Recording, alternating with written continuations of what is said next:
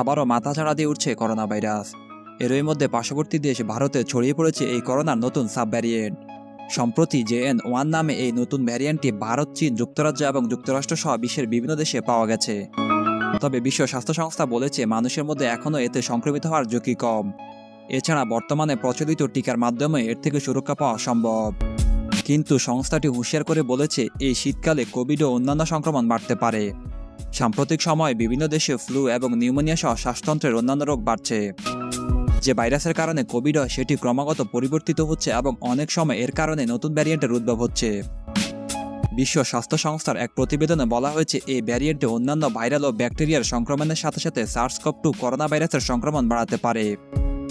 বিশেষ করে যে দেশগুলোতে শীতকাল শুরু হচ্ছে, সেখানে এর সংক্রমণ বাড়ার আশঙ্কা করা হচ্ছে। বিশ্ব স্বাস্থ্য সংস্থা আরও বলেছে, টিকা দেওয়ার ফলে দেহে যে সুরক্ষা তৈরি হয়েছে সেটি ভাঙতে এই যে এন ওয়ান ভ্যারিয়েন্ট কতটা সক্ষম সেই সম্পর্কিত কোনো প্রমাণ নেই। এছাড়া মানুষকে আগের ভ্যারিয়েন্টগুলোর তুলনায় এটি আরও বেশি অসুস্থ করে তোলে কিনা তারও কোনো তথ্য নেই। নতুন এই করোনা ভাইরাসে আক্রান্ত হলে কী কী লক্ষণ দেখা দিতে পারে? জ্বর, সর্দি, গলা ব্যথা ও মাথা ব্যথা হতে পারে, মুখের রুচি কমে যেতে পারে। এর পাশাপাশি ক্রমাগত বমি ও বমি ভাব হতে পারে। আক্রান্ত হওয়ার চার থেকে পাঁচ দিন পরে শ্বাসকষ্ট দেখা দিতে পারে।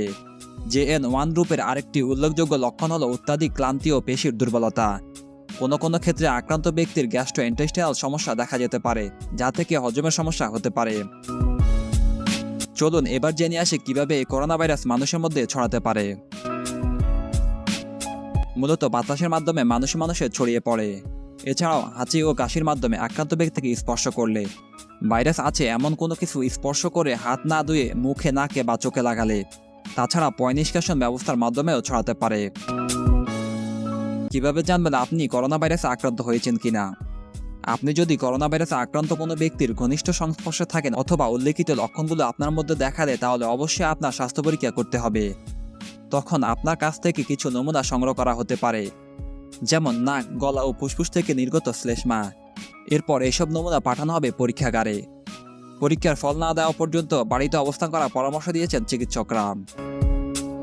এ ভাইরাস প্রতিরোধ করবেন কীভাবে? করোনা ভাইরাসের সংক্রমণ প্রতিরোধে ব্যক্তিগত সচেতনতা হচ্ছে একমাত্র পথ। মাঝে মাঝে সাবান, পানি বা স্যানিটাইজার দিয়ে হাত ধোয়া। সেই রেলিং দরজা, পানির কল, কম্পিউটারের মাউস বা ফোন, গাড়ি বা রিক্সার হাতল ইত্যাদি ধরলে সঙ্গে সঙ্গে হাত পরিষ্কার করতে হবে।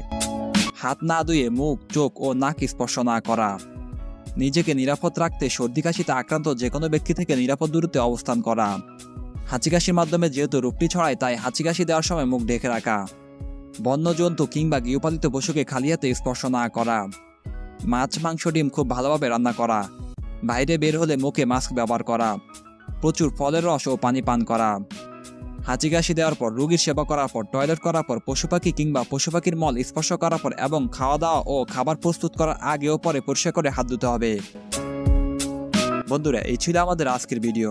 ভিডিওটি কেমন লাগল অবশ্যই কমেন্ট বক্সে আপনার গুরুত্বপূর্ণ মতামত জানাতে বলবেন না।